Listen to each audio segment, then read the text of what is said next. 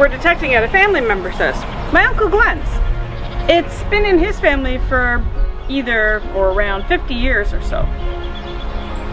Looking forward to it.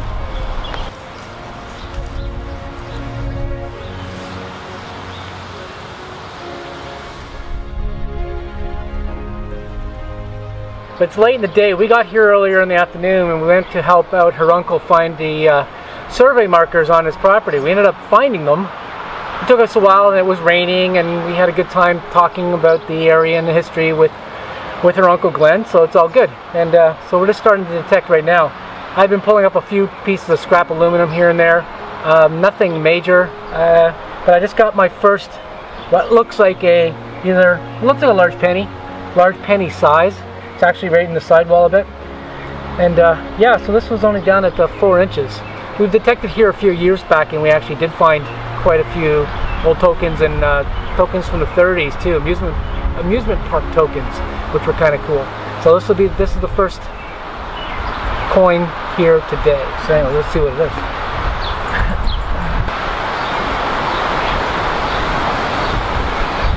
All right, it's not a large penny; it's a token. Token. And it looks like I didn't scratch this one, which is good. Looks like a Bank of Montreal. Ah, I don't have my glasses on me as usual, but anyways, I can see it. Bank of Montreal. See if I can get a date off of it.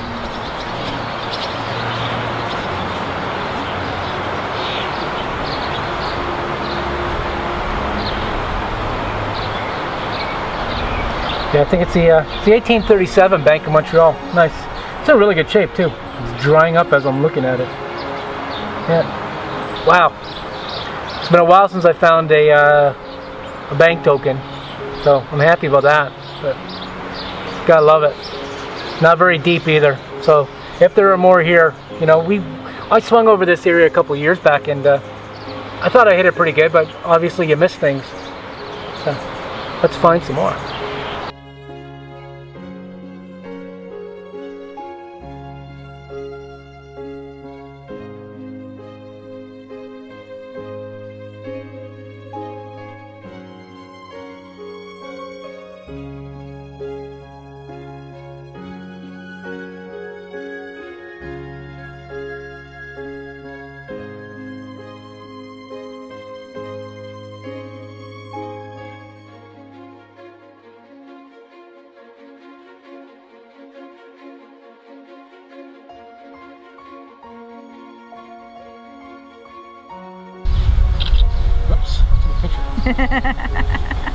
Heard that. All right. So Judy called me over. She said she has something that she's not sure what it is, but now she knows what it is. So what is it? Oh, it's an umbrella slide. Oh. Broken, but an umbrella slide. Yeah? Oh yeah, yeah, definitely. I can see where it's broken on the top. Yeah. Yeah. Side around here is all got broken little pieces, but Cool. So a token just a few seconds, well, a few seconds, a few minutes ago, and uh, then she gets an umbrella slide. How deep? three inches? Three inches down? Yeah. But I mean, on this hillside, I mean, that's. I don't think that's too too bad. No. Yeah. So good. Two relics in less than 10 minutes. Mm -hmm. So, let's get some more. Yes. Yes. All right, way to go. Nice, nice dig. Okay, so this target uh, was a definitely a good audible target, and then uh, it wasn't. And the reason why I was jumping around a little bit is because, as you can tell, it's a big giant washer, right? Big washer. Washer was on the left-hand side. Then I put the dirt back in and I got another signal and I flipped the plug out more and that just popped out as you see it. It's dried up a little bit because I, by the time I came and put the camera on, there you go. But anyways, I can tell it's another token. There you go. Yep. It looks like another Bank of Montreal. It is another Bank of Montreal. Cool. I wonder if it's the same year. Oh, hi Sheba. This is uh, Judy's Uncle Glenn's dog Sheba. And she's been following us around for most of the day. And she wants to check it out too. Look at that. Hey, got it up. 18. This one's an 1844. 1844 halfpenny. Cool, another token. Sweet. What do you think? Pretty cool, huh? Yeah. You can lick it. This one's in really good shape. Nice. Oh, and on another note, these coins, this house was built at about 18, 1860, 1865. The barn has a um, has a uh, plaque on it, a date stone that said uh, 18, yeah, 1854 or 1852. And uh, this coin was lost probably about the same time. So the people who built this place lost these tokens. I mean, that's kind of cool, you know, to think about that. The people who built this house and the barn actually lost these coins. It's pretty uh, awesome just to be able to hold a coin that you know that was lost so long ago, right? Well, love them. Cool.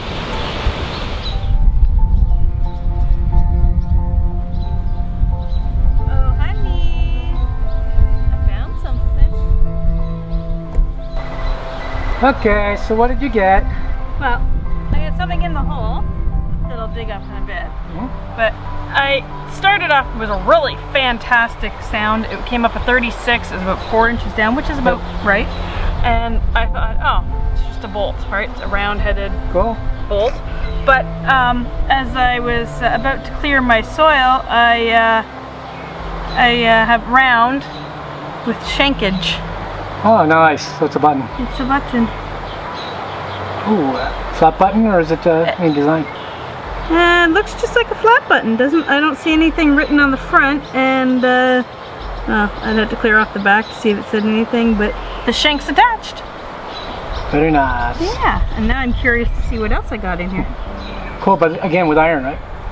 Hmm? This lawn has a lot of iron, so Yeah, I know, here are but mixed I already in. found a a button and a bolt.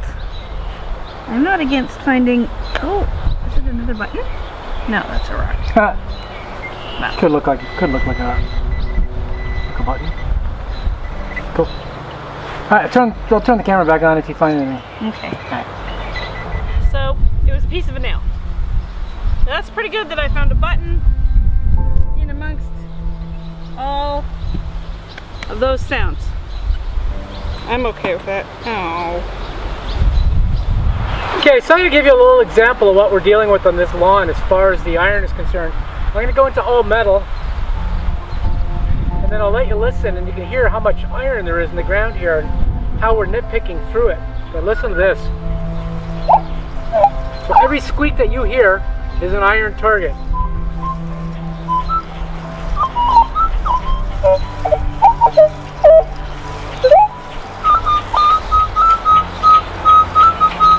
Can you hear all those? Iron. Iron. Iron. Iron. So you can just imagine, there's a lot of stuff that's hiding amongst all this iron. Some of it's being masked by the iron, other things are right beside it. So, like that uh, last token there that had that big washer in there. I did get a squeak, but I got a repeatable uh, squeak as well, and that's why I investigated it, and that one happened to be a token. A lot of these are ended up being curb nails and things like that. So, but you can just hear the lawn is full of them. So, it's a little tough, but it's definitely doable. Look at that, another one right there. Wow. And I'm not digging everything. Imagine digging every signal here. Look, I'd be digging this up. It's iron. I'd be digging that one up. I'd be digging that one up. I'll be digging that one up. So there you go. I think Judy's chasing a deep iron target, but it could be it could be conductive. It could be something else, but she's still uh, She's still digging away. This is big, otherwise I would have gotten it by now. Digging to China. Found it.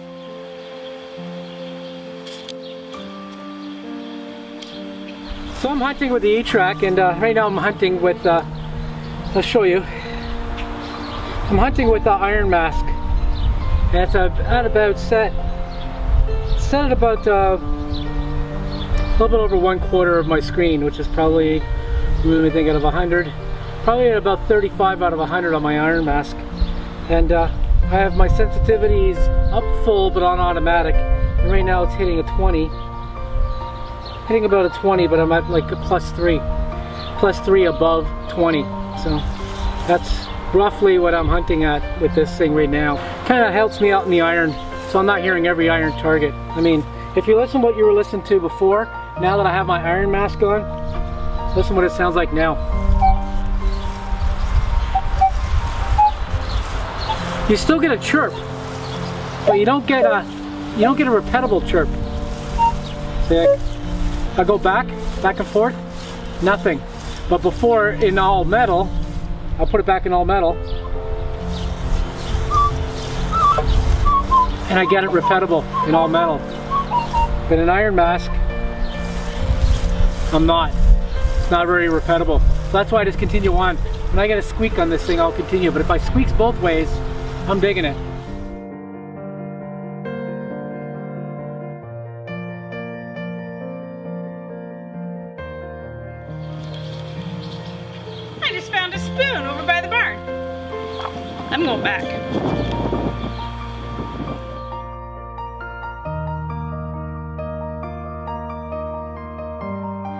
Okay, as usual, Judy's going to what?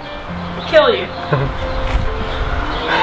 Like, ooh. All right, Sheba, I won't kill him. Don't do that, the dog said. Roar, roar, roar. not if it's up to me or not. but anyhow, this target was down like almost 8 inches, a very faint signal, but I dug it anyways and I got a bunch of gravel. You can see how close I am to the front steps of the house. So it kind of gives me hope that there might be stuff deeper here, like some large pennies. I have to slow down and concentrate on this area. But we're leaving shortly. I got a fish scale. he always gets a fish scale. I don't always get a fish scale. But there you go. Close enough. Yeah, close enough. And it's a uh, it's a Georgie fish scale though, so I'm not really rubbing it, just removing the dirt. Okay, so I went to change the memory card over on the camera. Eh, what are you gonna do? Anyways, it's a fish scale, and uh, I can barely see it, but Judy's already looked at it. 1917, but that's good though. I mean, the, next time we do come, when the fields are clear, we can concentrate a little bit more on the front lawn and listen for the deep ones because there you go, fish scale, right in the front of the house where we didn't find anything before. I mean, other than I got this shot penny too. Yeah. Oh, hold on. I thought we did find other things here, but I don't remember. I think it was closer to the front of the house, like the side front of the house. That makes sense? Yeah, Front side of the house? yeah, I got a shot penny. Looks like a bullet hole in it from uh, 1964. That's an American. Uh, it's an American uh, memorial. So, and it's been shot. So that's kind of cool too. Anyways, two coins. We're getting ready to leave real soon. I gave us another 10 minutes, but give us another 10. I'm good with that. I'm heading that way. It's like, oh, fishy. Bye bye. Sorry. You're not sorry.